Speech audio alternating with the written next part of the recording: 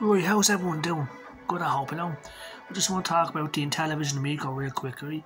So, um, the latest thing is they're being sued uh, because they're not paying people their refunds. So, they're all on the run.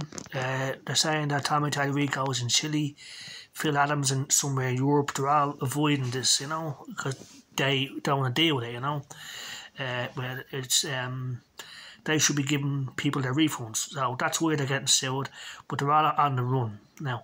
Um, they're saying that Intellivision has no money, you know, because they're not generating any revenue because they're not selling it.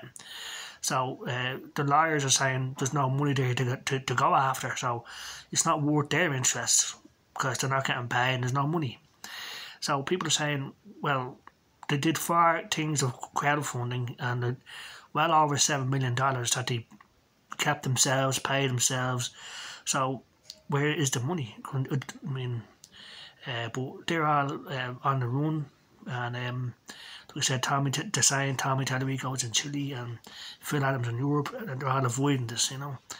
And the lawyers are saying there's no money. Yeah, so where is the money? You know, uh, it's either all spent by Tommy Tallarico and the fellas, you know, and people are saying that uh,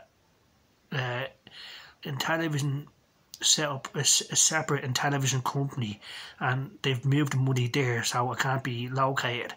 Uh, but this is just a theory, or uh, people are saying that the company is called Intellivision Entertainment LLC, but they set up another Intellivision company called Intellivision Entertainment Inc. and they're saying that they've moved the money over there so it can't be found.